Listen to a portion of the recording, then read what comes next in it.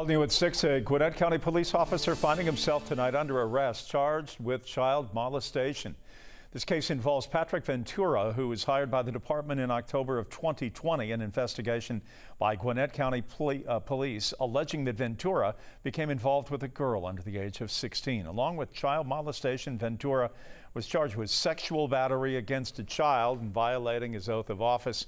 He currently is being kept at the Gwinnett County Jail.